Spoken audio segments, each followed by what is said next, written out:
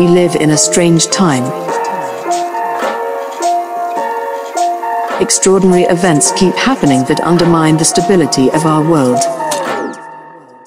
Suicide bombings, waves of refugees, Donald Trump, Vladimir Putin, the mainstream media, social justice, critical race theory, COVID 19, even Brexit. Yet those in control seem unable to deal with it. No one has any vision of a different or a better kind of future. This is a story about how over the past 40 years, politicians, finances and technological utopians, rather than face up to the real complexities of the world, retreated. Instead they constructed a simpler version of the world, in order to hang on to power. And as this fake world grew, all of us went along with it, because the simplicity was reassuring. Even those who thought they were attacking the system, the radicals, the artists, the musicians, and our whole counterculture, actually became part of the trickery. Because they too had retreated into the make-believe world, which is why their opposition has no effect and nothing ever changes.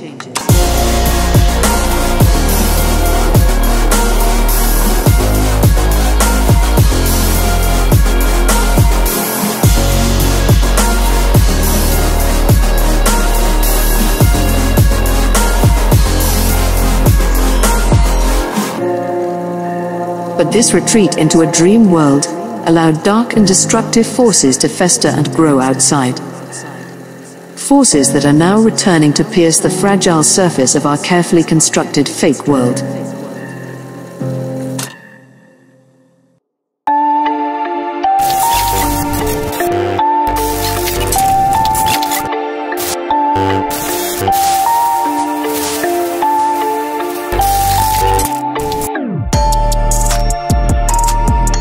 In Britain and America now began to turn away from politics. The effect of the Iraq War had been very powerful. Not only did millions of people feel that they had been lied to over the weapons of mass destruction, but there was a deeper feeling that whatever they did or said had no effect, that despite the mass protests and the fears and the warnings, the war had happened anyway. Liberals, radicals, and a whole new generation of young people retreated. They turned instead to another world that was free of this hypocrisy and the corruption of politics. They went into cyberspace. Cyberspace had become even more sophisticated and responsive to human interaction. The online world was full of algorithms that could analyze and predict human behavior.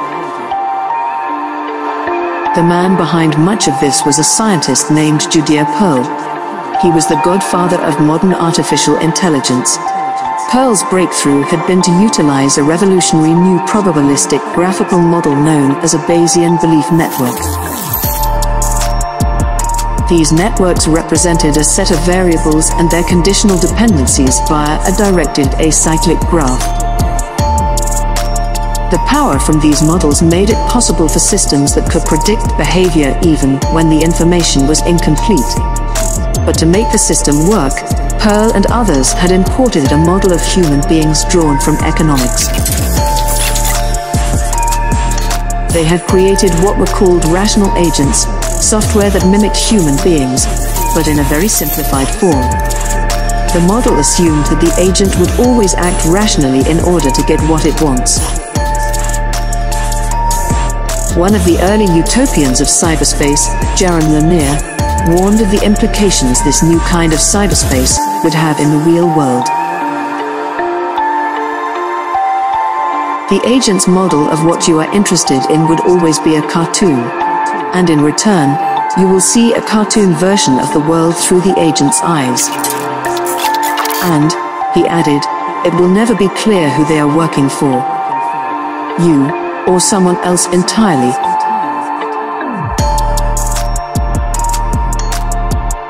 New technology began to allow people to upload millions of images and videos into cyberspace. And the web, which up to that point seemed like an abstract other world, began to look and feel like the real world. From videos of animals and personal experiences, to extraordinary events and horrific nightmares. All of it was to be uploaded for all the world to see.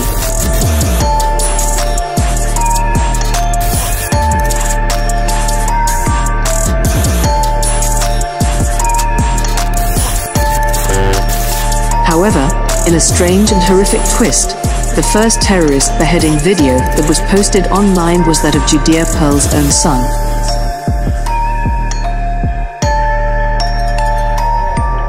He was a journalist for the Wall Street Journal and had been kidnapped by radical Islamists in Pakistan.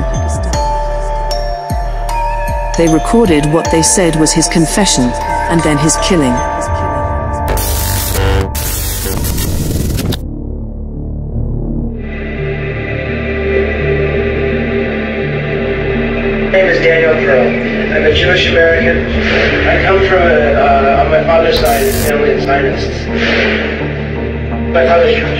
My mother's Jewish. I'm Jewish. Only now do I think about that some of the people in Guantanamo. This was a new world that the old systems of power found very difficult to deal with in the wake of the 9-11 attacks the security agencies secretly collected data from millions of people online. One of these data collection programs was called Optic Nerve. It took stills from the webcam conversations of millions of people across the world, trying to spot terrorists planning another attack. The program did not discover a single terrorist, but it did discover something else it would appear that a surprising number of people are using webcam conversations to show intimate parts of their body to each other. But increasingly people were using the internet in other ways to present themselves as they wanted to be seen. The web drew people in because it was mesmerizing. It was somewhere that you could explore and get lost in, in any way you wanted. But behind the screen, liking a two-way mirror, those same rational agents were watching and predicting, while guiding your hand on the mouse. These intelligence systems continued to gather ever more data. New forms of guidance began to take root, and a new form of guided control was born. Social media. complex algorithms looked at what individuals liked, and then fed more of the same. In the process, individuals began to move without noticing into bubbles that isolated them from enormous amounts of other information. They only heard and saw what they liked and their newsfeeds increasingly excluded anything that might challenge people's pre-existing beliefs. The version of cyberspace that was rising up seemed to be very much like William Gibson's original vision. But behind the superficial freedoms of the internet were a few giant corporations. Their algorithmic systems controlled what people saw and shaped what they thought. What was even more mysterious was how they made decisions about what you should like, what should be hidden from you, and what should not be shown at all to anyone and the algorithms used by those massive corporations to curate our make-believe world were not just created from thin air. They were created by testing and experimenting on us, the user. Not many knew at the time, but companies like Facebook had begun to run experiments on its users. By manipulating their news feed, they were able to shift the user's mood from one extreme to another. Around 2014, an article was published by The Guardian that outlined something Facebook had done unbeknownst to their users. For one, everyone had a Facebook profile, even those that did not sign up to the website. Facebook used its algorithms to find people who had not signed up by finding connections via phone contacts and image tags. These connections were used to create a shadow profile of those who had not created their own profile and most of us still have no idea this is happening. But this led to them conducting experiments on its users, trying to find out how much control those news feeds had on their emotion. Facebook claimed the massive psychological experiment it secretly conducted on its users should have been done differently. Shortly afterward they published a new set of guidelines for how it would approach future research studies. However, Mike Schroepfer, Chief Technology Officer, said the company had been unprepared for the negative reactions it received when it published the results of its experiment. And while watchdog groups and concerned experts condemned their efforts in studying the psychological effects of social media, Facebook continued to conduct their research projects with little public ire. It was then in 2012 that Facebook published a study in the Proceedings of the National Academy of Sciences. Unbeknown to users, Facebook had tampered with the news feeds of nearly 700,000 people, showing them an abnormally low number of either positive or negative posts. The experiment aimed to determine whether the company could alter the emotional state of its users. But this was just the beginning. They also conducted other experiments that were made public by Forbes in 2014 they found that emotions could be contagious. When positive expressions in a user's newsfeed were reduced, they reacted by producing fewer positive posts and increased their negative posts. When negative expressions were reduced, the opposite pattern occurred, according to the paper published by the Facebook research team in the NAS concluded by asserting that emotions expressed by others on Facebook influence our own emotions, constituting experimental evidence for massive-scale contagion via social networks. The experiment ran for a week from January 11th to the 18th in 2012, during which the hundreds of thousands of Facebook users unknowingly participating may have felt either happier or more depressed than usual, as they saw either more of their friends posting things like 15 photos that restore our faith in humanity articles, or despondent status updates about losing jobs, getting screwed over by an airline, or already failing to live up to New Year's resolutions. From rumor cascades to self-censorship, selection effects in online sharing to social influence in social advertising, Facebook conducted many experiments, many of which are not even known to the public.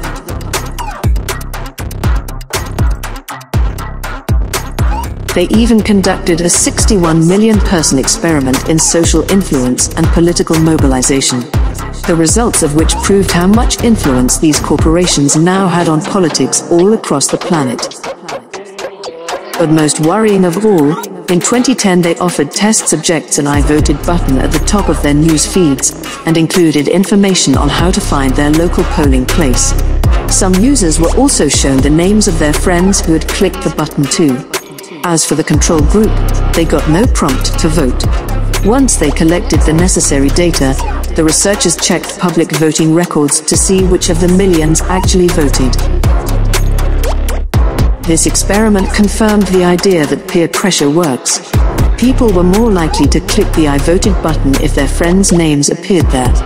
And when researchers checked actual voting records, they found that people who got the I voted message in their news feed were 0.39% more likely to have actually voted. Thus they were more likely to have voted if their friends' names appeared as well. It might be a minuscule percentage, but the researchers think their experiment resulted in 340,000 votes that wouldn't have otherwise happened. This was the point at which Facebook could identify the effects of their algorithms on a massive scale. Millions of profiles, demographics, locations, and personalities were now available to improve their algorithms via machine learning. What is known as an unsupervised learning algorithm these algorithms take a set of data that contains only inputs and attempt to find structure within the data, like a grouping or clustering of data points. The algorithms, therefore, learn from test data that has not been labeled, classified or categorized. Instead of responding to feedback, unsupervised learning algorithms identify commonalities in the data and react based on the presence or absence of such commonalities in each new piece of data. It was this kind of prediction that gave these social media corporations their immense power and social influence. With these algorithms, and to the benefit of advertisers, Facebook could predict what kind of product you would want or need before you even knew you wanted it. It is estimated that 5.27 billion people now use a cell phone, more than half of which can use the Facebook app. This gives Facebook access to more than a billion unique profiles to test their algorithms with. And the sheer amount of data gives them the ability to accurately predict when you use the bathroom, or go to bed, or go to work, Every moment you have your phone on you is tracked and catalogued into a larger network that can now be manipulated without anyone noticing. A hidden network, used by millions, understood by only a few, now fed us our news, media, entertainment, and gossip. The conversations we had with one another began to expand it exponentially, such as celebrities conversing with their fans. But now politicians had begun to see the power in social media they began creating profiles on another tech giant, Twitter. Now instead of sending a letter to your local politician, you could communicate with them directly. But this left the politicians vulnerable to the same psychological manipulation. First these corporations discovered new methods to get more people to vote. Now they had the power to manipulate the emotions of the very same politicians being voted for.